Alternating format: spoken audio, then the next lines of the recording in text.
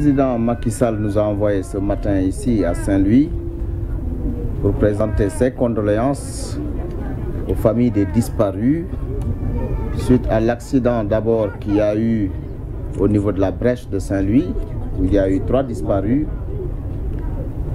Un des corps a été retrouvé, celui de Yatma Fall. Et également venir ici à la famille de Ma Fall qui est décédée suite euh, à la houle, à la forte houle qui est intervenue il y a quelques jours ici à Saint-Louis. Le président Macky Sall donc, nous a demandé de présenter ses condoléances. Il partage les douleurs avec les familles, mais également euh, avec le gouverneur, le maire de Saint-Louis, le ministre Mansour et le préfet. Il a demandé de leur dire qu'il est à leur côté. Et il a transmis également ses condoléances et son appui à chaque famille de disparus.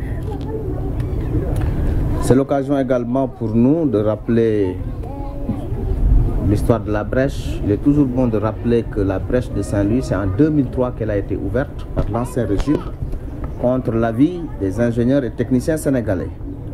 Cette brèche a fait plus de 350 morts maintenant. Et le président Macky Sall, depuis deux ans, nous avait instruit à étudier. Nous avons fait des études avec des experts, notamment néerlandais, le cabinet Royal Asconing. Aujourd'hui, nous avons les conclusions et nous allons entamer la solution d'urgence qui consiste à draguer la brèche. Cela va être fait au mois de janvier, le mois prochain.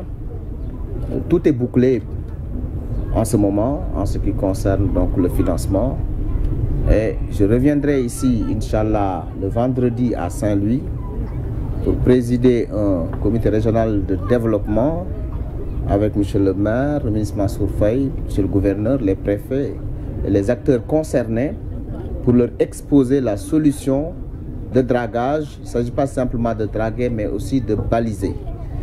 Et vendredi, Inch'Allah, en l'après-midi, nous allons exposer la solution qui va être mise en œuvre, qui est la solution d'urgence, étant entendu qu'il y aura une solution à court, moyen et long terme. Mais l'urgence, c'est de faire un dragage de cette brèche pour permettre aux pirogues d'avoir un chenal qu'ils vont emprunter en partant, pêcher ou en revenant avec leur capture. Je vous remercie. Monsieur le ministre, où vous arrêtez avec les licences de pêche? Au moment où nous parlons, une délégation de pêcheurs de Saint-Louis se trouve en Mauritanie pour amener les versements des licences. Vous savez que avec les accords que nous avons signés, les protocoles d'accord, c'est 50 000 tonnes et c'est 400 licences. À l'heure où nous parlons, ces licences sont en train d'être payées. 10 euros la tonne et 15, 5 euros supportés par le gouvernement du Sénégal sur instruction de son Excellence M. Macky Sall. Autrement dit, les pêcheurs de Saint-Louis qui devaient payer 10, 15 euros vont payer 10 euros la tonne. Et le gouvernement va supporter les 5 euros supplémentaires. En ce moment précis, ils sont à Nouakchott pour les formalités de paiement de ces licences.